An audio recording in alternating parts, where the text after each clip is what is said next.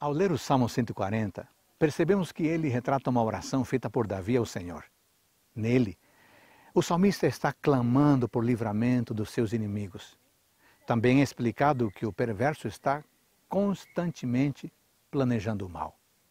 Ainda é dito que o Senhor protege os seus e que o salmista depositava em Deus suas esperanças de justiça. Deus manteria o direito do necessitado.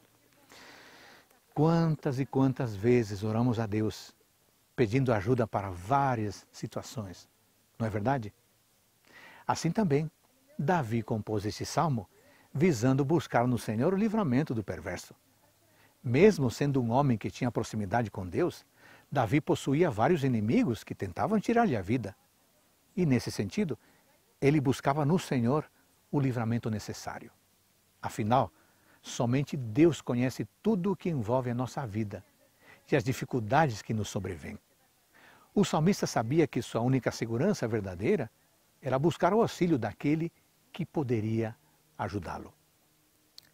Dentro da oração, o autor parece explicar que os perversos estão seguidamente organizando meios para praticar maldades, forjando planos para atingir os inocentes.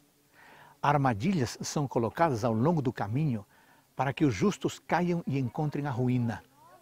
Parece que essa característica dos ímpios é apontada com o intuito de mostrar que eles estão sempre em ação.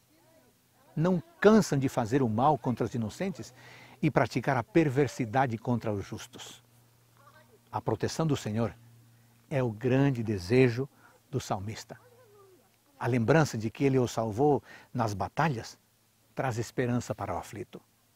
Ó oh, Senhor, força da minha salvação, é o clamor de angústia de alguém que confia em Deus para obter a salvação.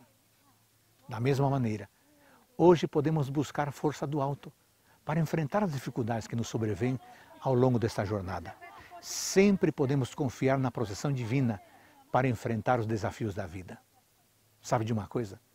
A justiça neste mundo nem sempre prevalece, é verdade.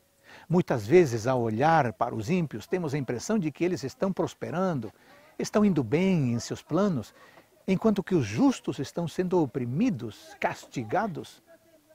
O final do salmo é uma declaração de certeza.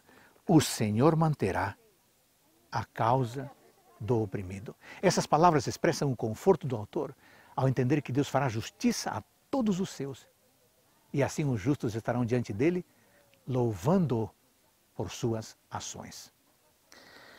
Você tem enfrentado dificuldade para a qual não encontra saída?